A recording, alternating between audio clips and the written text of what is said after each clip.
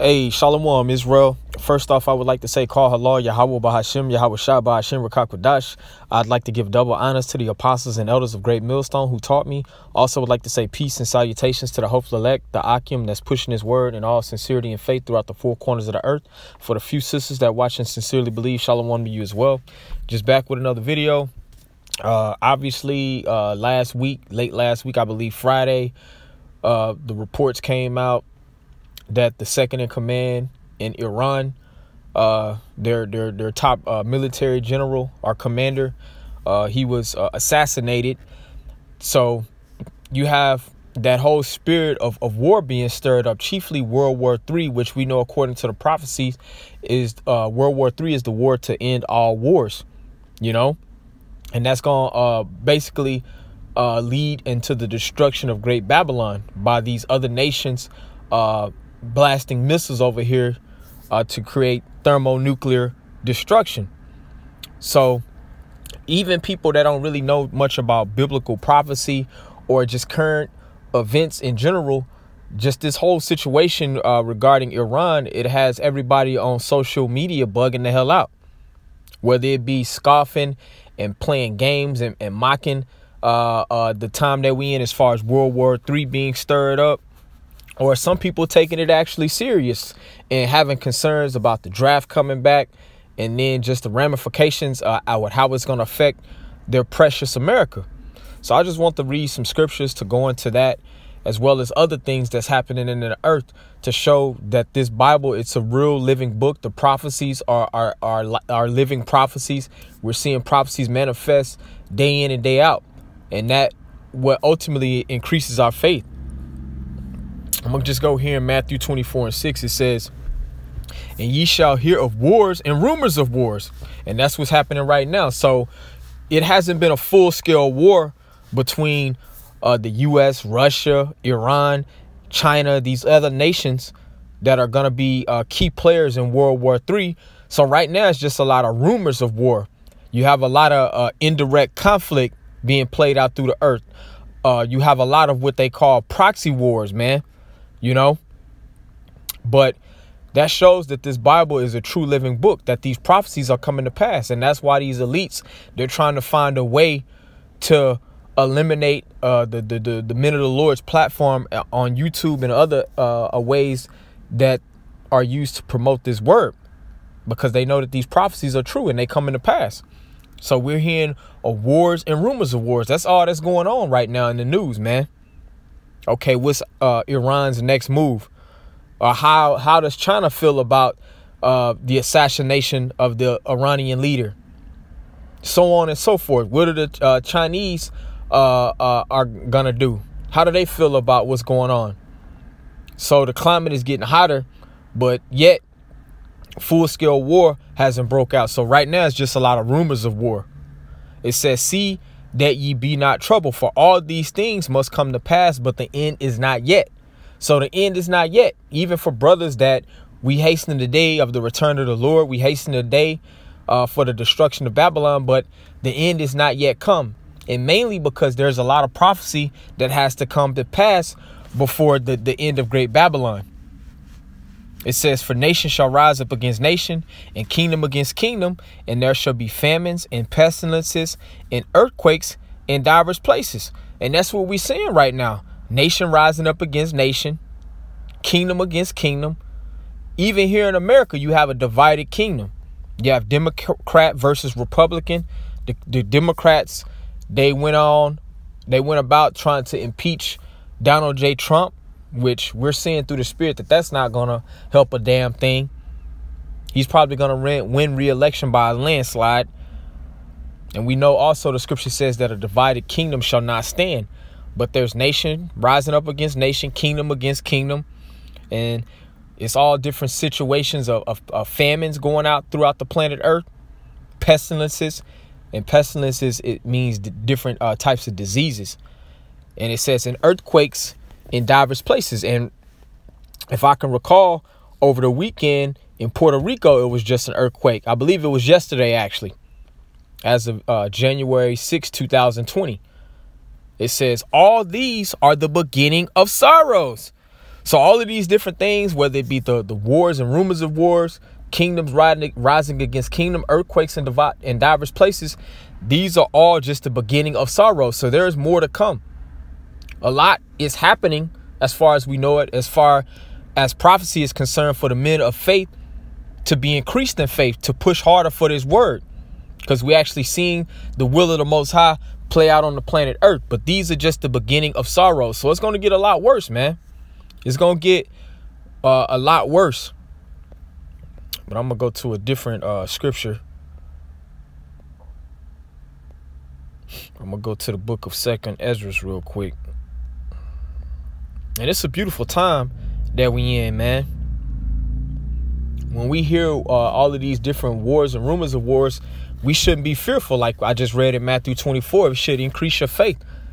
Especially if you're a believer, if the Lord put the Spirit on you to be able to understand His word and furthermore preach, man, we have a lot to be excited for.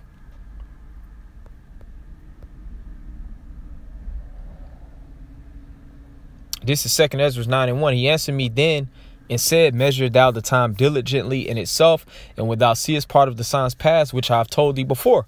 So you have to measure the time diligently. And the way that we measure the times is watching the prophecies, watching the, the signs that the Most High is showing from the heavens. That gives us an indication how close we are to the time, even though no one knows the exact time and hour that the Most High is going to send his son, Yahweh Shah but we have a, an indication that we're closer than before. It says, Then shalt thou understand that it is the very same time wherein the highest will begin to visit the world which he made. So we're at the time in which the Most High, through his right hand, through his son Yahweh Shah, he's going to visit this world. It says, Therefore, when thou shalt be seen earthquakes and uproars in the people, or Salaki, and uproars of the people in the world, and that's what's happening right now. Earthquakes uh, in diverse places, like I just read in Matthew 24, and different uproars of the people in this world. It says, Then shalt thou well understand that the Most High spake of those things which spoke of those things from the days that were before thee, even from the beginning. So it's a beautiful time. And, and the scripture also says in uh, Habakkuk, the second chapter, that the vision is yet for an appointed time, but at the end it shall speak. So the visions, as it relates to everything's written in the Bible, the prophecies, they're speaking because we're in the latter days. We're in that time. We're in the time close to where the Most High, He's about to visit the world through His Son Yahweh Shah. You know, and the scriptures also speak of in Isaiah the 42nd chapter, declaring the things before, or the matter of fact, let me read this verse again and then I'll read what I was about to quote in Isaiah 42. This is back in Second Esdras 9 and 4 says, Then shalt thou well understand that the Most High spake of those things which spake of those things from the days that were before thee, even from the beginning. So the Most High spake of those things even from the beginning. And people got to understand that the Most High, He speaks through His prophets. He's not Himself going to come out of the throne of heaven to warn people and, and tell people what they need to do. The prophets are the mouthpiece of the Most High. So that's how the Most High is speaking through his prophets, through his servants, the prophets. This is the scripture that I wanted to read to back up Second Esdras 9 and 4. It says, Behold, the former things are come to pass, and new things do I declare before they spring forth. I tell you of them. So, new things the Most High has declared before they actually happen, He tells you of them. And the way that the Most High tells you of things that are going to happen before they happen is through His servants, the prophets. Because the word prophesy means to say before. And that's what's happening in the earth. That's why everybody's losing their damn mind. Because as the prophets speak, things is happening in the earth as we know it right now, man. That's why it's a beautiful time that we in. That's why brothers, even though we catch hell in our perspective course of the faith, we should be rejoicing because we have this truth.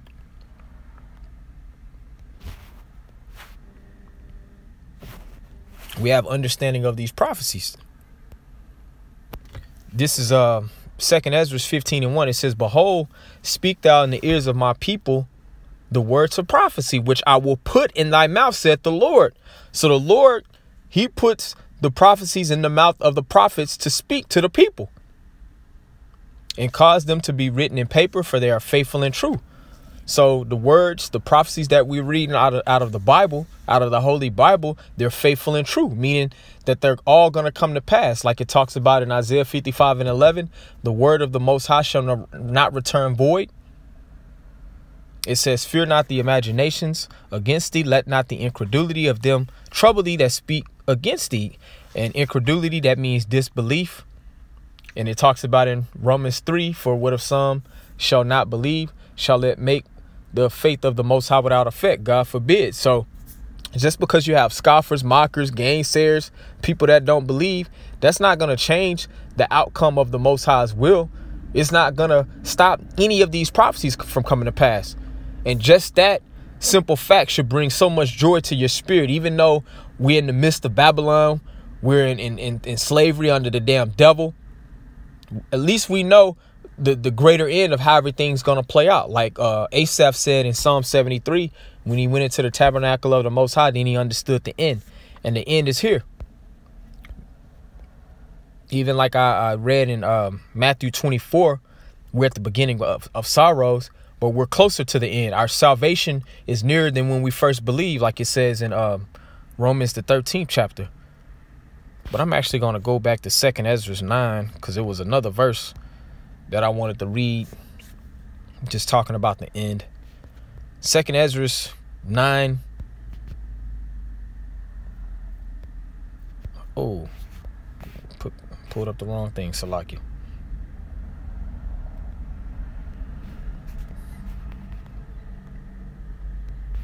This is back in Second Esdras 9 and uh, 5. It says, For like as all that is made in the world hath the beginning and an end, and the end is manifest. So I read in Matthew 24 that we're not at the end, we're just at the beginning of sorrows, but we're closer to the end. That's the point being made. Through the prophecies, we have an indication that we're closer than before to the end, even though we don't know the exact date and time and hour of the ending, of the so called ending, but we know it's close. It says, even so, the times also of the highest have plain beginnings and wonders and powerful works and endings and effects and signs. So just more hope for the Most High's elect. The Lord is always going to give us different signs and tokens that we're closer to the end. And that's going to propel us to keep pushing this word, keep being diligent, keep praying without ceasing to the Most High, hoping that these prophecies come to pass in, in due time, sooner than later. So it's a beautiful time that we in. All types of wars and rumors of wars, different so-called natural disasters in the earth, different signs of the times that the Most High is showing that these prophecies is real and that we're closer to the end. So for the brothers that's pushing, we just need to be in the spirit just to keep on pushing. The scripture says, uh, he that endureth into the end, the same shall be saved. So it's not the end. So we got a lot of work to do. So with all being said, I just want to do a, a quick lesson. I was um, on a lunch break. So hopefully this made sense and edified. I want to give all praises to Yahweh by Hashem, Yahweh Shah by Hashem Rakakwadash. Double honors to the apostles and the elders of Great Millstone. Shalom, one peace and blessings to the elect.